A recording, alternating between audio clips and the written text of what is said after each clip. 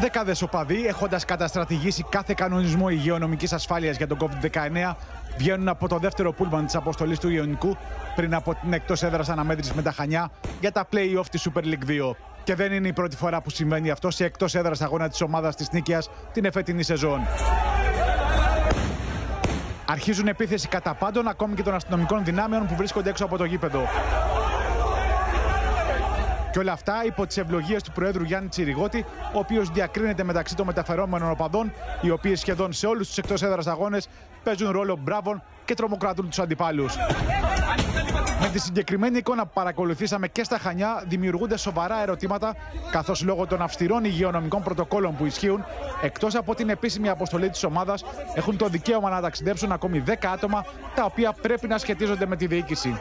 Πώ ο κύριος Χαρδαλιάς διαπιστώνει ότι τηρούνται οι άδειες που δίνει, Πώς η Γενική Γραμματεία Πολιτικής Προστασίας ελέγχει τις καταστάσεις που υποβάλλονται, Πώς βρίσκονται υπεράριθμοι και άσχετοι με την ομάδα μέσα στα Πούλμαν, ενώ οι μετακινήσεις εγκρίνονται από τη Γενική Γραμματεία Πολιτικής Προστασίας, με ποιες βεβαιώσεις μετακινήθηκαν, με έγγραφα της ομάδας ή πλαστογραφημένα στοιχεία, τη στιγμή μάλιστα που δεν επιτρέπονται οι διαπεριφερειακές μετακινήσεις, γιατί οι αστυνομικές αρχές δεν ελέγχουν τους επιβάτες στα Πούλμαν και γενικότερα στις μετακινήσεις, γιατί προσφέρεται ασυλία σε περιφερόμενους οπαδούς οι οποίοι επιτίθονται ακόμη και σε αστυνομικές δυνάμεις.